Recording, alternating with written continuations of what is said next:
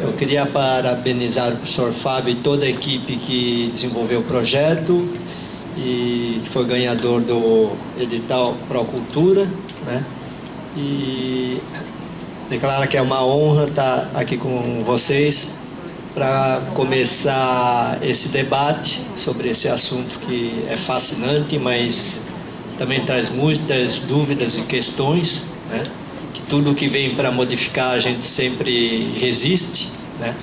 É, e hoje é, já é um assunto que né, já tem começou essa discussão sobre arte e tecnologia lá pelo por meados do, do século XX né?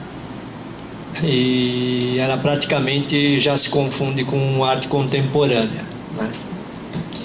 É, eu vou falar ah, alguns algumas questões que já são muitas questões hoje né eu vou ah, pegar algumas questões para a gente começar a entrar nessa discussão né?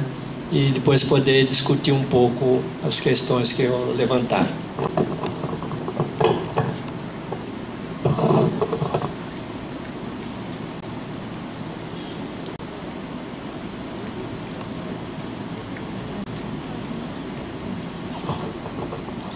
Como o tema uh, dessas dimensões, uh, diálogos em rede, corpo, arte e tecnologia, uh, eu tomei como referência um pouco esses três termos, a questão do corpo, da arte e da tecnologia. É, eu tenho uma formação tradicional né, em, em, artes plásticas e no começo dos anos 80, quando a gente começou a presenciar essa questão da tecnologia, da computação, de novas mídias chegando, eu tentei entender o que estava acontecendo, né? E comecei a migrar das linguagens tradicionais, do desenho, que eu era muito apaixonado, ainda sou, para essas novas mídias. É, então foi todo esse percurso de tentar entender o que estava acontecendo e o que, que era aquele objeto novo. Né? Ah, a gente fica pensando nessa relação uh, homem-natureza, né? e é um movimento que está em con constante transformação, essa relação do homem com a natureza. Uh, à medida que o homem pegou a primeira ferramenta e começou a modificar a natureza, ele começou a modificar a sua própria natureza. Né? Então ele pegou uma ferramenta, modificou a natureza e começou a modificar o seu próprio corpo. Ele começou a ter hábitos alimentares, começou a fazer agricultura, pecuária, começou a transformar a relação, todo esse sistema natural, mas começou a transformar seu corpo também. Seu corpo, sua mente, seu raciocínio. Né? Nosso corpo é produto uh, dessa relação. E a natureza também. Então, a gente transforma e é transformado ao mesmo tempo. E isso acontece através das tecnologias, né? desde as pedras, o ferro, o fogo, tudo que a gente foi descobrindo, observando e descobrindo e utilizando essas tecnologias, a gente modificou a natureza e modificou o, o próprio corpo, né? nosso próprio pensamento até. Então essa relação é constante, né? não é que começou e pa parou, ela continua ah, e está acontecendo a todo momento, né? desde ah, que surgiu o homem até, sei lá. Né? E nessa relação vão a, aparecendo culturas, conceitos, instrumentos técnicos, materiais, né? e esses novos corpos que a gente vai construindo. Então, nessa relação, a gente vai construindo todo. Uh, essa história toda, essa construção da natureza, do homem, da realidade, né?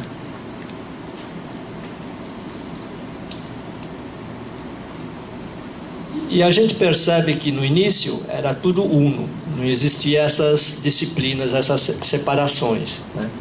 Essa relação entre arte e ciência, quando o caçador uh, fazia uma imagem dessa, ele já tinha essa curiosidade de registrar, observar né, a, a parte interna do animal, né? É quase um chamava estilo raio-x. Aí já está demonstrada essa questão uh, como eles tinham essa relação com a ciência né, nessa imagem. Não só com a ciência, como com a tecnologia, porque para naquela época poder fazer um desenho desse, precisaram desenvolver toda uma tecnologia para poder desenvolver pigmentos, né, trabalhar nas pedras tal e poder registrar uma imagem dessa, né? Uma caverna escura que precisaria de iluminação, todas essas questões, né? Se a gente vê arte rupestre, fica imaginando como que eles produziram aquelas imagens, né? Daquele tamanho no teto, devia ter toda uma tecnologia para poder iluminar, andaime, sei lá, né? Então tinha uma tecnologia que estava junto isso daí, né?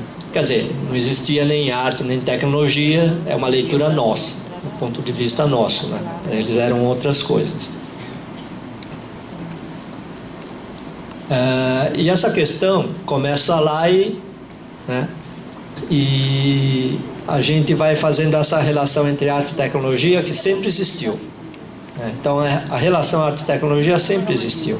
Ela vem desde lá, do começo da humanidade, até o, o contemporâneo. Né? A gente vê duas imagens com essa mesma preocupação, mas com tecnologias diferenciadas, né? que é uma tomografia computadorizada em cima.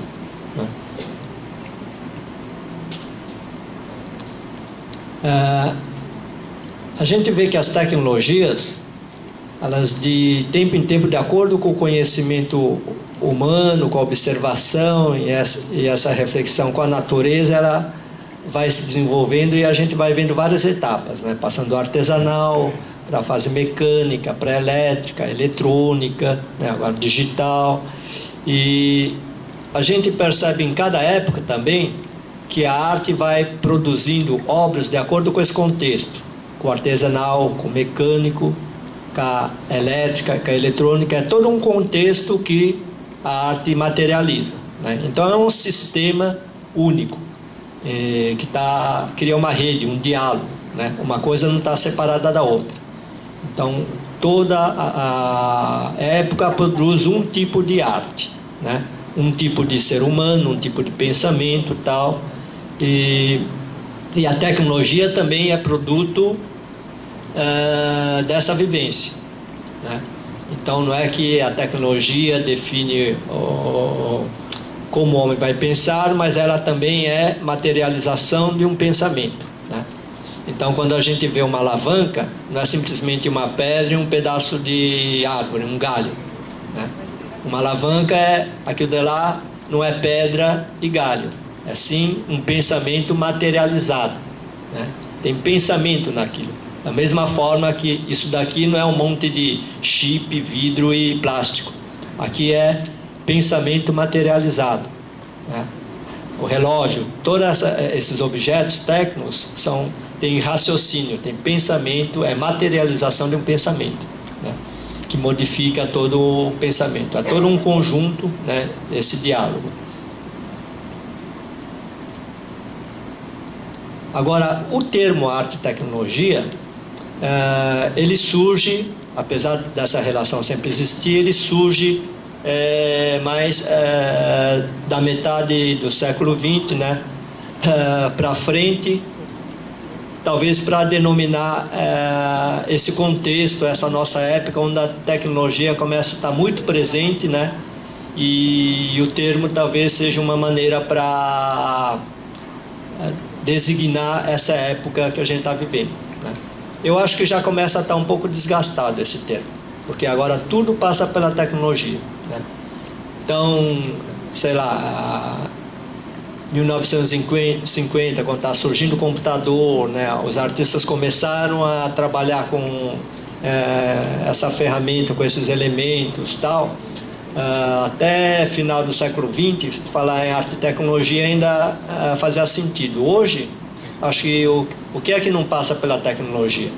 Né? Então o termo começa a desgastar. Na área de música, então, falar em música digital, qual música que não passa por processo digital? Né? Antigamente, sim, para música digital, música eletrônica, era